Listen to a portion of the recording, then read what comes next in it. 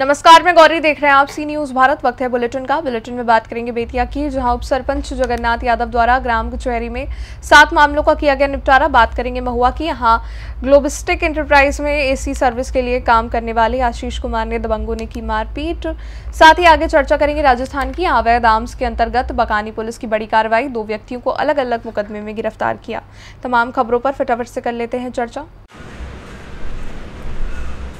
खबर बेतिया से जहाँ प्रखंड बगहा एक पतिलार गाँव में सरपंच लालमती देवी, पति बिहार के उप सरपंच जगन्नाथ यादव के द्वारा पतिलार हरिहर उच्च विद्यालय ग्राम कचहरी में सात मामलों का निपटारा किया गया, जिसमें मारपीट, ज़मीन संबंधी और रास्ते के विवाद को सुलझाया गया। इस ग्राम कचहरी में फरियादों की फरियाद को सुना जाता है और उसका फैसला तुरंत किया जाता है।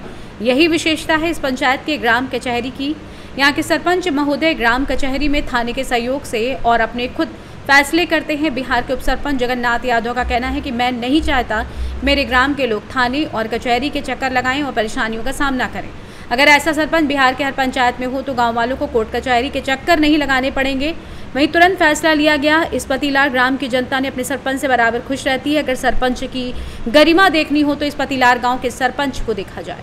बेतिया, बिहार से सी न्यूज़ संवाददाता मनोज श्रीवास्तव की रिपोर्ट। महाराष्ट्र संभाजीनगर में कल लोकसभा चुनाव 2024 की मतगणना। केंद्र 4 जून को सुबह सात बजे से शुरू होगा। ये बीट बाईपास एमआईटी कॉलेज में की जाएगी। बता दें कि एक हज़ार से अधिक अधिकारी और कर्मचारी आएँगे और इसकी व्यवस्था कैसे की जाती है, क्या नियम लागू किए गए हैं और किन मदों में अनिवार्य कर दिया गया है, पार्किंग कहाँ होगी, कहाँ से आना, जिनके पास आईडी कार्ड हैं। उन्हें कहा कि सुविधा होगी, कलेक्टर दिलीप स्वामी और उप पुलिस अधिकारी प्रशांत स्वामी एवं जिला निर्वाचन अधिकारी देवेंद्र टी काटके उनकी प्रतिक्रिया देखें। निवडणूक दोन हजार चोवीस अंतर्गत औरंगाबाद लोकसभा मतदारसंघामध्ये झालेल्या मतदानाची मतमोजणी चार जून रोजी बीड बायपासला असलेल्या एम आय टी कॉलेजच्या परिसरामध्ये संपन्न होणार आहे. या मतमोजणीसाठी जवळजवळ एक हजार अधिकारी कर्मचारी या ठिकाणी येणार आहेत. त्याचबरोबर निवडणूक रिंगणात असलेल्या उमेदवारांचे मतमोजणी प्रतिनिधीसुद्धा या ठिकाणी येणार आहेत. त्यांच्या येण्यासाठी वेगवेगळे मार्ग निश्चित करण्यात आलेले आहेत. वेगवेगळे प्रवेशद्वार निश्चित केलेले आहेत. त्यामुळं या चित्रफितीच्या माध्यमातून आम्ही आपल्या निदर्शनास आणून देऊ इच्छितो.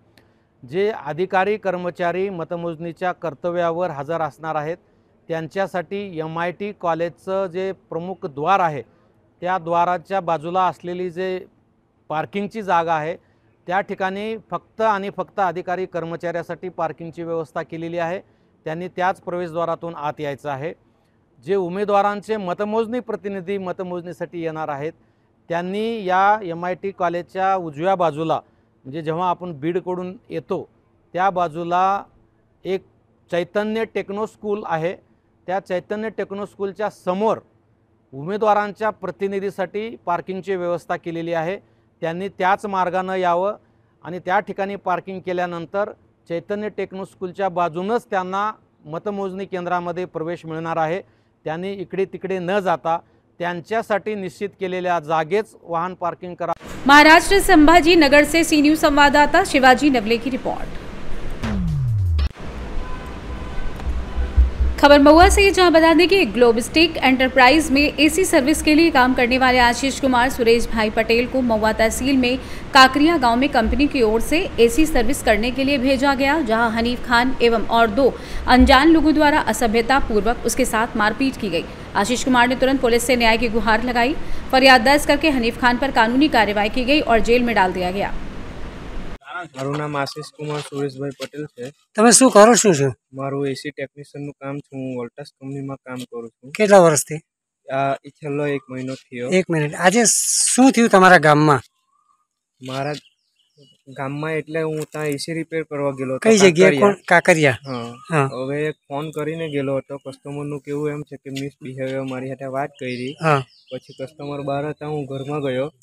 ઘરમાં એસી ચેક કર્યો જ હજુ એટલે કસ્ટમર આવીને મારી સાથે જ મિસબિહેવિયર વાતો કરવા લાગ્યા કે તારી ડિગ્રી લાવ તારી આઈટીઆઈ ના સર્ટિફિકેટ લાવ આઈ કાર્ડ લાવ. પછી એમ કે કે તારે ચેક કરીને આવવું જોઈએ ને કમ્પ્લેન ઉપરથી એ બધું મારું કામ થોડી છે. મેં બી કીધું કે સાહેબ એ બધું મારું બી કામ નથી કે અમને ડાયરેક્ટ ઓનલાઈન કમ્પ્લેન આવે. એટલે એ પ્રમાણે અમારાથી થાય એમ. પછી ગાળો ગાળી કરવા લાગ્યા. હમ. ડીલરને બી ફોન કરીને ઇન્ફોર્મ કરેલું હતું ને પછી વધારે ગાળા ગાળી કરવા લાગ્યા તો મેં કીધું કે મારે કામ નથી કરવું. પછી મેં બહાર નીકળી ગયો. બહાર બી મા બેન પઠીને ગમે તેમ ગાળો ગાળી કરતા હતા. દેનાર વ્યક્તિનું નામ શું? હનીફ પઠાણ. હનીફ પઠાણ. ને બીજું? બીજા કોણ કોણ હતા કે જે તમારી સાથે? અન્ય બે એ બાજુવાળા હતા પણ એમનું નામ મને નહીં ખબર હતી. પણ તે બી આવીને પછી મારામારી કરવા લાગેલા હતા. પૂછે મૂકે કઈ નહીં. તમને મારામારી કરી તો તમને એવા કયા- શરીરના કયા કયા ભાગે તમને મારા અહીંયા મારેલો બડ્ડામાં મારેલો અંગત ભાગે મારેલો પછાડી બધે જ મારેલો હતો. એવું છે. તમારું? મારું હેમંતસિંહ ભારત તમારું દાયિત્વ શું છે? ડેપ્યુટી સરપંચ ચિત્રા ગામનો. ડેપ્યુટી સરપંચ ચિત્રા ગામના.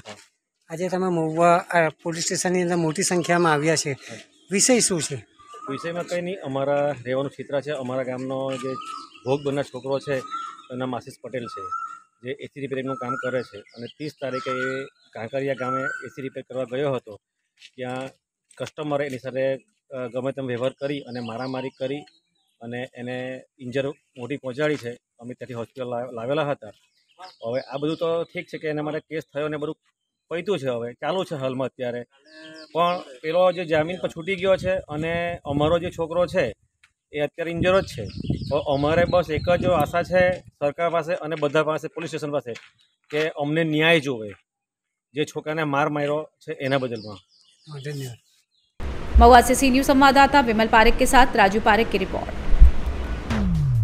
खबर राजस्थान के बकानी से है, जहाँ पुलिस अधीक्षक ऋचा तोमर ने अवगत करवाया कि थाना क्षेत्र अंतर्गत देवरी गाँव में तमर समाज के व्यक्ति कंवरलाल फूलचंद व मोहनलाल जगदीश तंवर के सरकारी भूमि पर आपसी कब्जे व अतिक्रमण को लेकर कई वर्षों से आपसी विवाद चल रहा था, जिस पर 25 मई व 28 मई को दोनों पक्षों के मध्य भूमि को लेकर आपसी मारपीट एवं पत्थरबाजी तथा बंदूक से एक दूसरे पर गोली चलाने की घटना को लेकर पूर्व में भी दोनों पक्षों की ओर से कई अभियोग दर्ज होकर अनुसंधान जारी है।